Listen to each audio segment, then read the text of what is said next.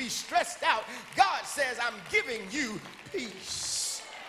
Now, now, you must not understand what peace is all about, child of God, because peace in this context is not the absence of chaos. It is you being in control even when chaos is all around you. It is you understanding that you will not lose your mind. You will not go under. You will not throw in the towel. You will not give up. You will not give in or give out. You will survive. You will make it. You will some lemonade out the lemons in your life. Is there anybody in here today who can testify, I will not go down just because circumstances aren't nice right now?